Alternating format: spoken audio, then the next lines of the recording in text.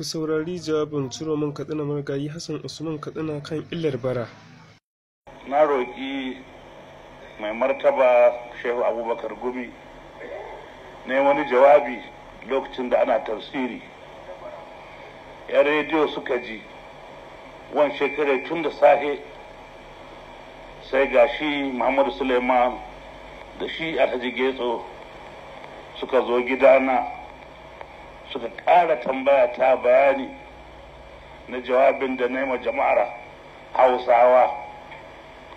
Hausawa duk inda suke kuma na ce ba nan ƙasa arewa ba duk inda ba wuce yake a duniya. Mu tashi tsaye mu kurin ke bara ba haushe kurin ke bara ƙasar nan. Duk duniya ba haushe ke bara kuru.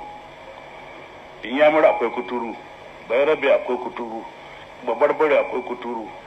Akwai makaho banihi akwai makaho. Gwara akwai makaho. Amma wallahi tallahi sai bahaushe ke bara. Yan rediyon nan suka tashi tsaye suka ce insha Allah da shi Muhammadu Suleiman da shi Getso suka ce insha Allah za su yi program wanda za su jawo hankulanmu cewa bahaushe ya tashi tsaye. Lalle mu ji waƙar da marigayi zunguru ya ce ya gaya mana tun muna yara. Bahaushe zai sha kunya nan duniya. In sake yana shagali yana sharholiya. Yanzu ko mu ke shan wahala. Saboda haka shi ya sa na samu dama in wannan bani ga wannan babban taro. Mu tashi tsaye mu hana ɗayan mu bara mu hana jikokin mu bara. Ba ta da amfani ba addini ba ne ba. Saboda da kunya shi yasa suka raina mu.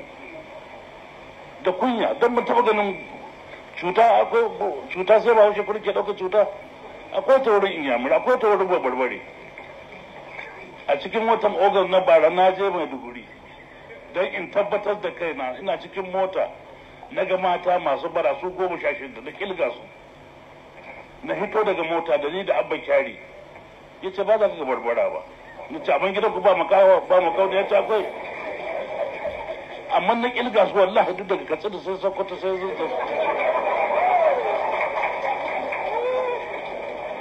saboda babbarbare yana jin zuciya yana jin kishi da zuciya.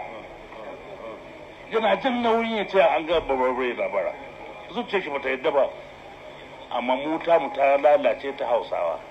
Don allah don annabi. Kamar yadda gidan rediyon nan ke mana lecture ga ɗiyanmu da jikokinmu. Don Allah da annabi mu tashi tsaye. Ba gwamnati za ta yi mu ba mu za mu tashi da kanmu da kanmu. Mu hana mutane mu bara. Yanzu kayan zauna